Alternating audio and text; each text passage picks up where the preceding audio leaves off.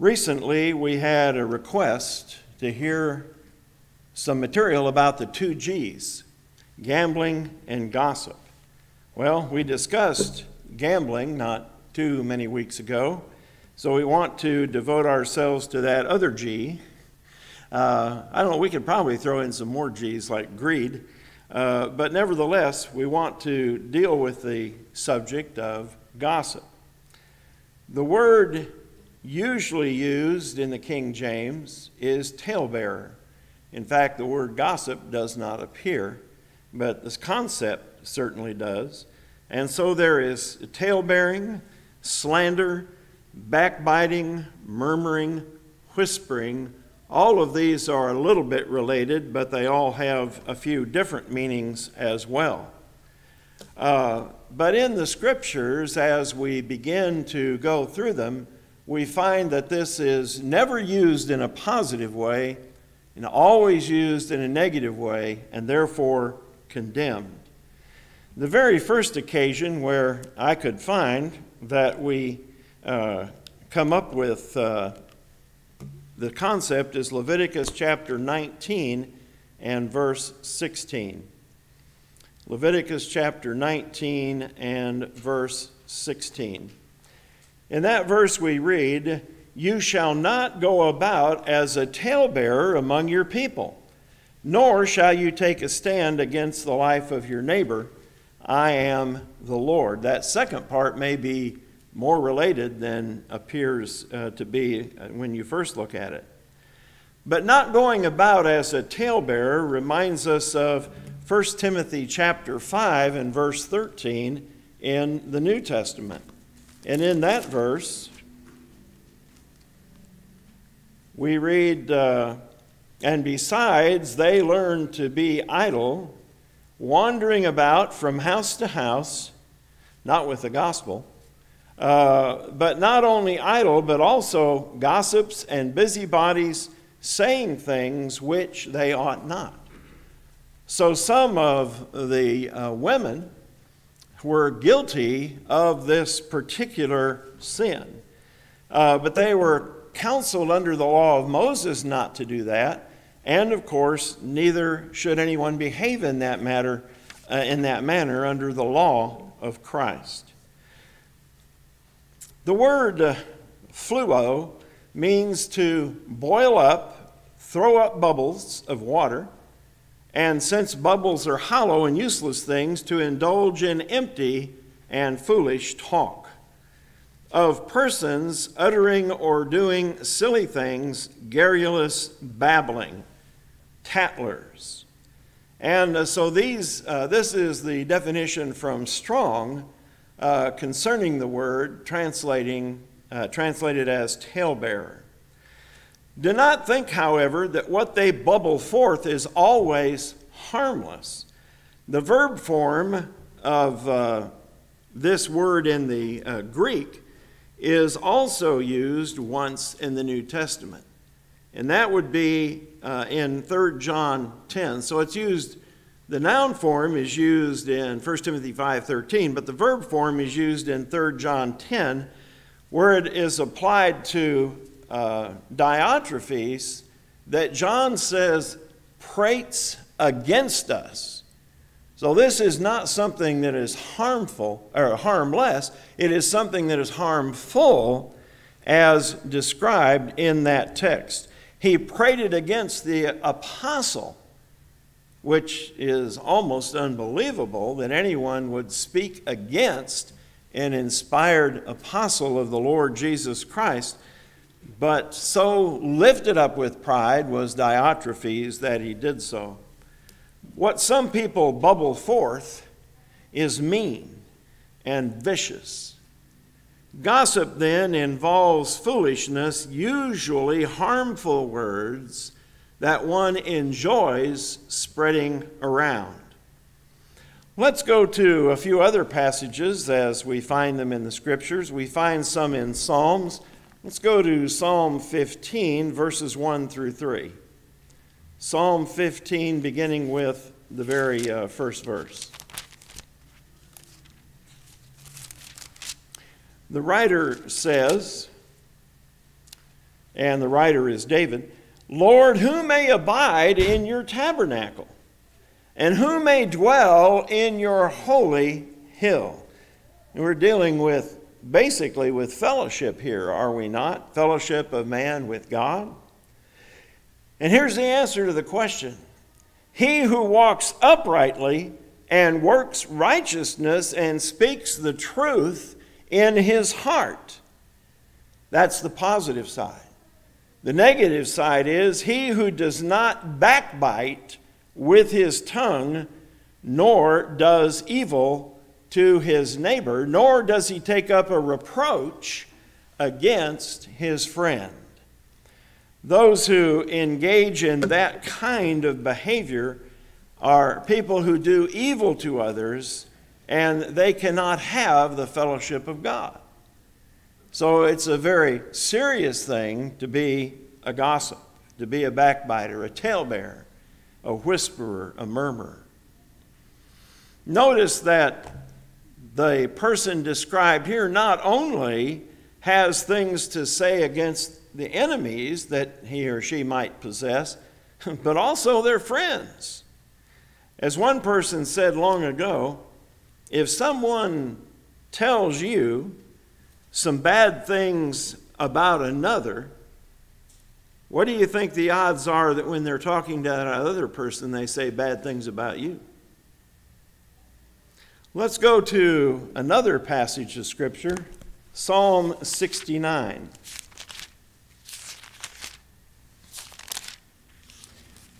In uh, this messianic psalm, we want to take a look primarily at verse 12. Those who sit in the gate speak against me. I am the song of the drunkards. Imagine people of that caliber bad mouthing the king David. They do not mind doing that. They do not mind ridiculing those who are more righteous, more honorable than they. They just don't uh, care if they do it or not. And you might think, well, is that possible? I mean, would they actually say something like that against somebody if there wasn't some merit to it? Well, remember how they treated the Lord, and remember how Christians are advised that they will be treated in 1 Peter chapter 4 and verse 4. The apostle in that text tells us this concerning those who used to be in the world but have departed the world to obey the gospel of Christ. In regard to these things, they think it strange that you do not run with them in the same flood of excess, speaking evil of you. And why are they speaking evil of you? Because you quit doing immoral things you quit being involved in the same things you used to be involved with with them, and so now they speak evil of you. So, yes, the righteous do not have to do anything in particular to merit criticism, to be gossiped about, to be slandered about. Let's go back now to look at some passages in Proverbs and uh, we want to begin with uh, Proverbs chapter 11 and verse 13. Proverbs 11, verse 13. Solomon writes A talebearer reveals secrets, but he who is of a faithful spirit conceals a matter. Not everything that a talebearer says is untrue. Generally, it probably is, or at least an exaggeration, but in some cases, he could just be revealing secrets that he has no business telling others about. Peter writes in 1 Peter 4 8, love covers a multitude of sins. But the gossip does not care about a brother or sister or the damage that he or she might possibly do. Communicating corrupt things is what provides that individual with a, uh, a charge. Uh, this is what gets them excited, is to be able to actually do damage to other people. A faithful and loving person would conceal a matter rather than expose it and spread it and broadcast it. Well, let's go to another verse in Proverbs chapter 18 and verse 8. Proverbs chapter 18, verse 8 The words of a talebearer are like tasty trifles, and they go down into the inmost body. Mmm, doesn't that look good? Doesn't that gossip sound good? That's what the gossip relies upon, that people will like hearing it. You know, uh, one person said, I never repeat gossip, so listen up really carefully right now. Only, I'm only going to say it once. That's how uh, some people are, but they know that people thrive on hearing something a little unusual, a little out of the ordinary, a little uh, that makes someone else look bad, and then theoretically makes them look better because they're not as bad as that person. Also, Proverbs chapter 16, uh, verse 28.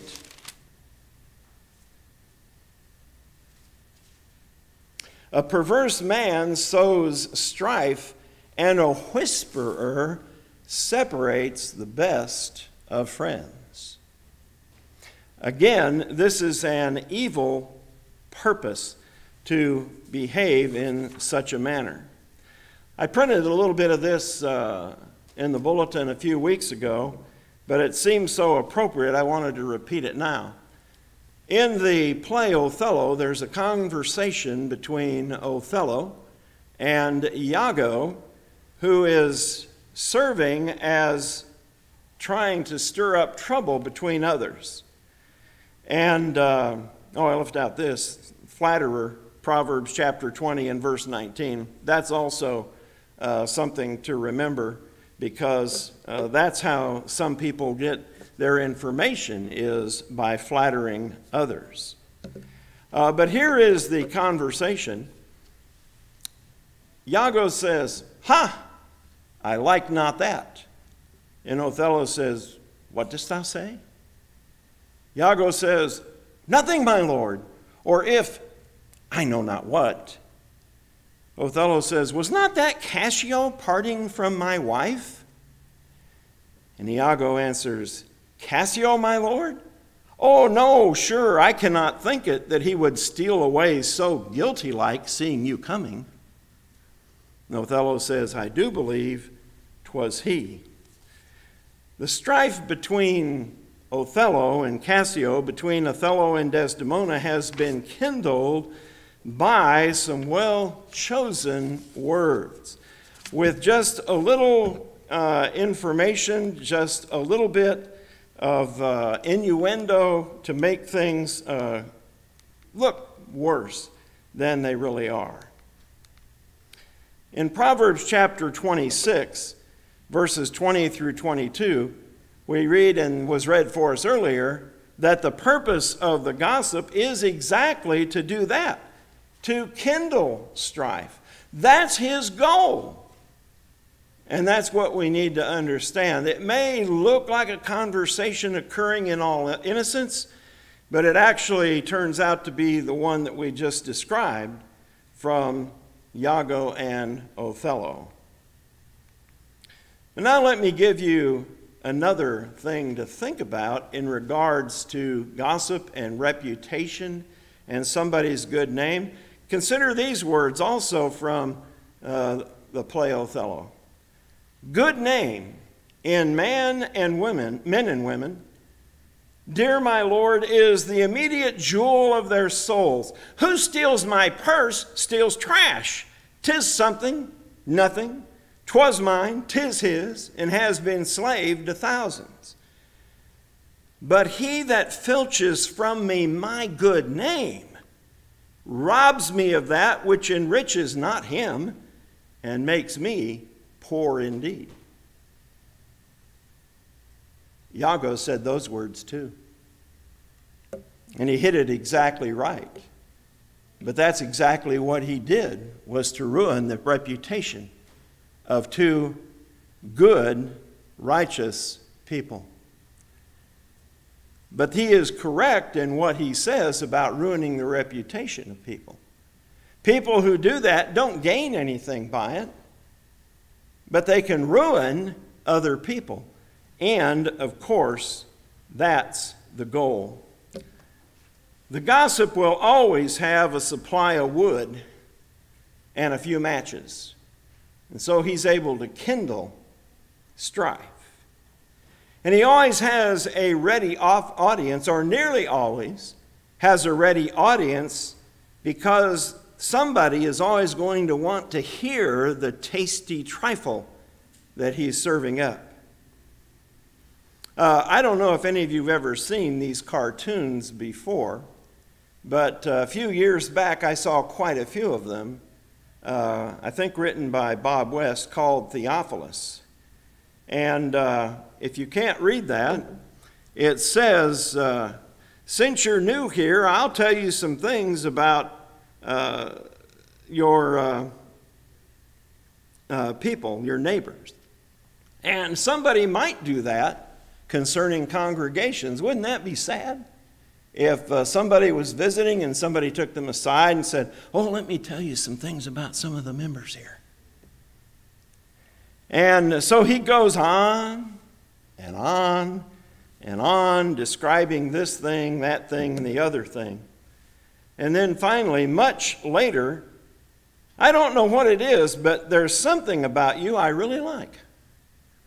Could it be the huge ear that's taking it all in? He has several other cartoons along these lines if you care to look them up. But this one makes a good point about there being a ready audience for some of these types of things. Now let's go to the New Testament. There's not a lot in the New Testament. In fact, this is it. Uh, from Romans chapter 1, verses 19, uh, 29, and 30. And I want you to recall where this is found. This is found in a rather comprehensive list of sins. This is the one that uh, begins in verse 29 that they are filled with all unrighteousness, sexual immorality, wickedness, covetousness, maliciousness, full of envy, murder, strife, deceit, evil mindedness. They are whisperers. And there we get to the part that we want. They are whisperers, backbiters. And notice What's right next to that? Haters of God. Violent, proud, boasters, inventors of evil things, disobedient to parents, undiscerning, untrustworthy, unloving, unforgiving, unmerciful, who knowing the righteous judgment of God that those who practice such things are deserving of death not only do the same, but also approve of those who practice them. These are not some innocent types of things that we're dealing with when we're dealing with gossip.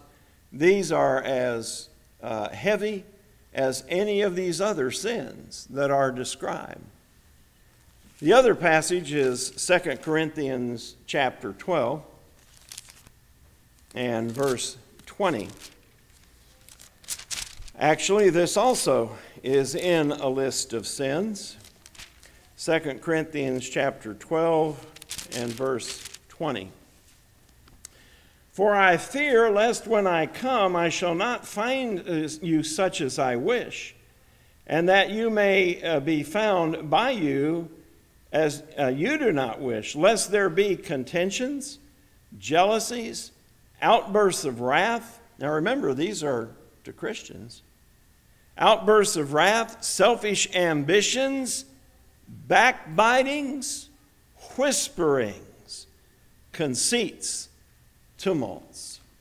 Once again, we have a couple of words related to gossip as uh, things that ought not to be mentioned among Christians. The gossip is set forth as an evil person seeking to destroy the lives and reputations of others. He is not interested in covering the sins of others, but rather in exploiting them. What's the solution?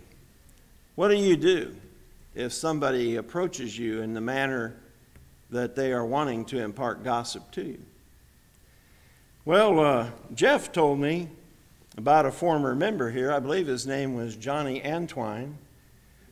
Uh, when somebody came up and said, Do you know what brother or sister so and so said? He would take their arm and say, No, let's go and ask. You'd be amazed at how much that cuts down on gossip. Uh, yeah, they said something. Maybe I need to hear it. Let's go ask them what they said. And so forth. But how do you distinguish between gossip and necessary information? Well, here's my definition it's gossip if it causes harm and is not helpful. It's gossip if it causes harm and is not helpful. For example, uh, maybe somebody pointed out to you and they said, you know, she used to have a drinking problem. Well, if she did and she's gotten over it, that's great. But leave it up to her to tell people. You know, sometimes Christians will, in order to help somebody else, say, you know, I used to have that problem. And it can be overcome, and here's how I overcame it. But that's up for them to say, not up for somebody else to say. Or maybe uh, a fellow is pointed out and somebody says, ah, you know, he used to have a pornography collection. Well, did he get rid of it? Has he repented? Then why are you bringing it up? Does anybody need to know that? Or is that just calculated to cause harm toward someone else? So we have to ask the question is this helpful to know this information or is it harmful to know this information? In that case, it just besmirches someone's good name who has overcome sin in his life or her life. On the other hand, sometimes a warning is necessary, not to cause harm to the individual but to warn others if you're not sure about that person's repentance. Decades ago, a preacher stole money from more than one place. And uh, uh, this is, uh, he was involved in different things. He was involved in a right to life group. Of course, he was involved in the congregation itself but he was guilty of stealing money, and I'm not talking about change, talking about thousands of dollars. So when uh, he left the place where he was, under the insistence of the elders, I believe, he went somewhere else, and some brethren tried to warn them about the situation. Uh, at least one or two members and a preacher contacted that place and said, uh, We're not trying to spread gossip, but this problem, a person has a problem with stealing. And uh, apparently he had never repented. But they ignored the advice and hired him, and he stole about $20,000 from them. Now, that was a case not trying to damage someone's reputation but trying to warn them so that they were not taken in. And of course, they did not heed the warning, so it didn't do any good. But that would be the difference between trying just to make somebody look bad or warning them because they needed to know what the situation was. There's one thing that gossip certainly conflicts with, and that's Matthew 7 12. All things you would that men should do to you, do you even so to them? Would you like somebody to smear you? Would you like someone to reveal secrets, even if true, without your permission? Would you like uh, to be damaged and have your res- reputation tarnished, perhaps? Then why would you do that to someone else? That's what Jesus basically is saying we ought to avoid. Do, do what you is good to others, do what you would like to have others do for you. And I don't think spreading things about your past, whether good or imagined, is something you would like done, and so we ought not to do it to others also. Satan wants people to either challenge or reject the truth, the light. If we engage in gossip, we're challenging the truth. We're not walking in the light, we are rejecting the light. So we need to be careful on those matters. Are you walking toward gossip or toward the light? If you are a child of God, hopefully you have uh, forsaken all of these uh, urges, maybe to share confidential information with others. But if you are not a child of God, maybe you've never thought about that. Well, it's part of what you ought to repent of. We ought to repent of all things that we may be guilty of doing wrong. And that would include gossip, and just as much as it would fornication or stealing or being covetous or whatever it might be. We need to repent of this too. And if you are willing to do that, confess that Jesus is the Christ, the Son of God, and be buried with him in baptism, all of these things can be washed away. There is nothing you have done that cannot be forgiven.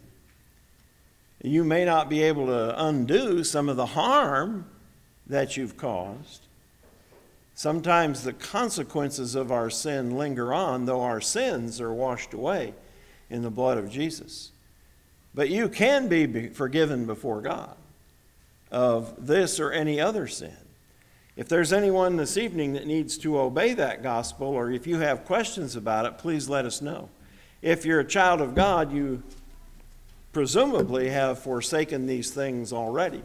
But if not, make it a point to do so and repent of any kind of behavior such as we have described tonight. If we can help you in any way, let us know while we stand and while we sing.